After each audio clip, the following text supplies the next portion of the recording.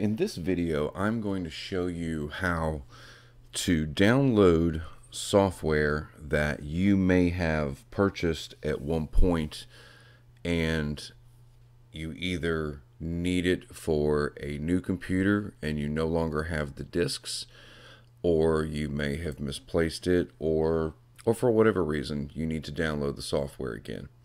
Now in this particular example I'm going to show you how to do this legally and safely and the most important thing that you're going to need if you want to be able to download the software is the licensing information for the software. So in this example, I'm going to use Microsoft Office 2013. Here's the scenario. I had this software on a computer. The computer broke and I don't want to pay for a new copy of Microsoft Office. I already paid for it once. So I'm going to legally download the software again because I still have the product key from the box, but no disk. Now in this case, you might actually have a link where you can go directly to the Microsoft website and download it. In which case, in Microsoft Office, you can absolutely do that. But let's just say, for example, that you don't have a link to download the software and you actually need to get it on your computer.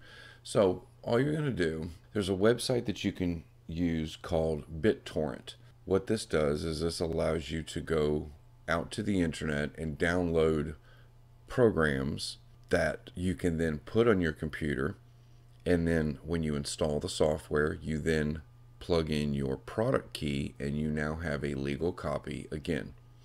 So what you have to do first, go to bittorrent.com and when this page comes up you just click on client download and then in this case I choose BitTorrent Classic the free version right here and then you will be able to download the software. So go ahead and download the software. Once the software has been downloaded just click on it to run it and just follow the steps all the way through. Now in this case you want to this is an offer here for this adware. You want to decline that decline the spy hunter just by unchecking that box. Click next. And then you can leave these available if you want. They just put icons on the desktop and load them into your start menu. Okay. You want to leave all of these settings checked except this one to start BitTorrent when Windows starts up. That way it doesn't start every time you start your computer. Click next. And there you go.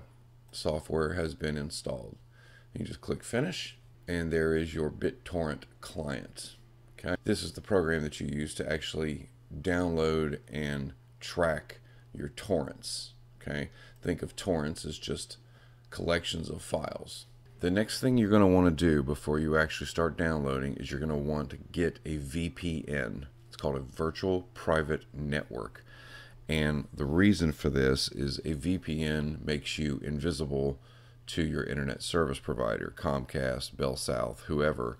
You don't want them necessarily seeing you downloading software. Now, in this case, it's perfectly legal to do so, but it's a good idea to use a VPN regardless. This is a short video I made about the subject and I would recommend you watch it. You can click the link above. I personally use a program called Nord, N-O-R-D, NordVPN, as you can see right here. So go ahead and get that done. You can follow the steps in that video. It'll show you how to do that. At this point now, you are invisible to your internet provider. And now what you can do is go and actually download the software that you want. The site I recommend is the one I have been using for years. It's called the Pirate Bay. You can go to thepiratebay.org and then when the search box comes up here, in this case, we're going to use Microsoft Office 2013. As you can see, there are a bunch of copies of Microsoft Office 2013 online. First thing I always do is I sort the column here, this column right here that says SE, that stands for Seeders. That means how many people have a copy of that software sitting out there for you to download. The more Seeders, the faster the download but doesn't necessarily mean that's always the best one.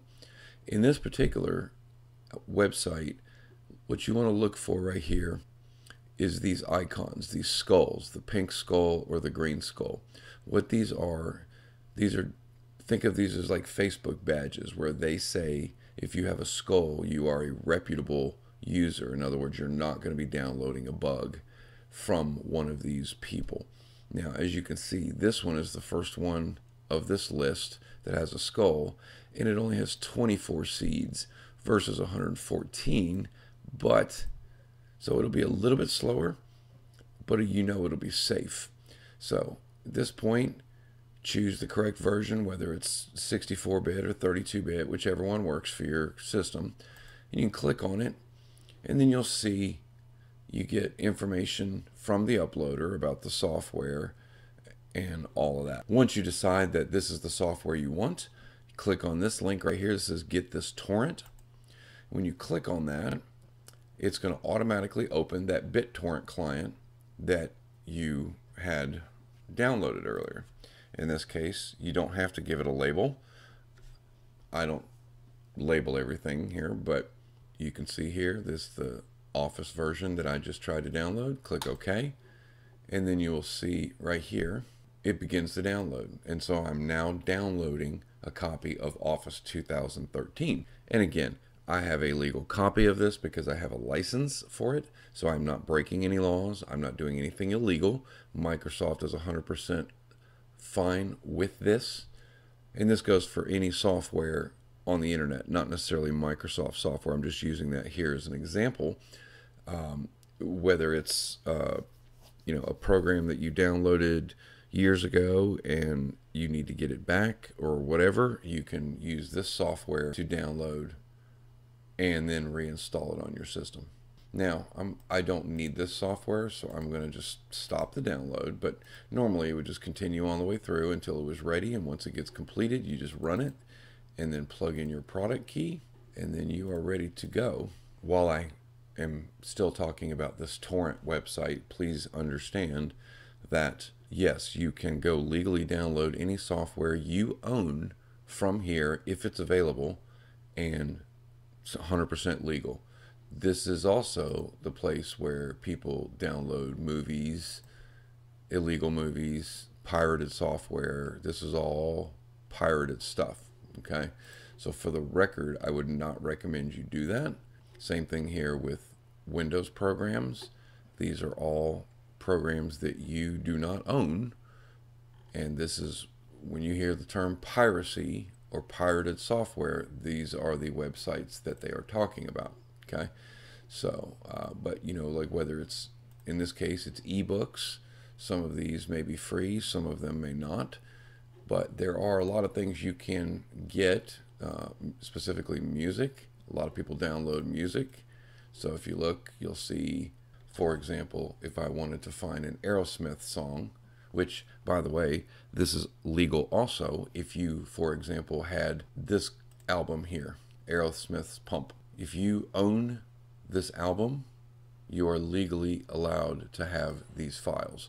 So you could legally download this and you would not be in trouble. So it's just something to think about. You know, a lot of people have CDs that they've purchased and maybe they have the case, but the disc is broken, whatever. You don't have to go buy a new one. You could just literally go download it.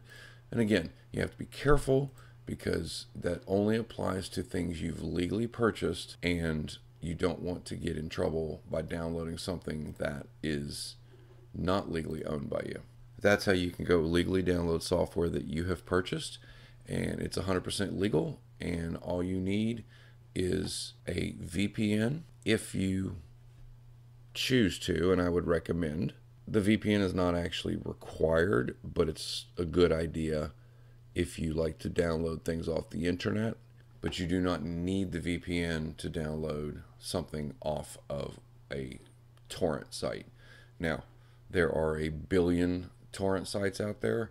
This one is probably one of the oldest ones, and this is one I've used for years for things that I've needed to re-download. And there is a ton of illegal software out there, and you can get in trouble for doing that. So please only download the things that you need to replace on your system. I hope this video helped you. If you have any questions, please feel free to leave them in the comments below. Uh, I'd greatly appreciate if you click that like button if this video helped you.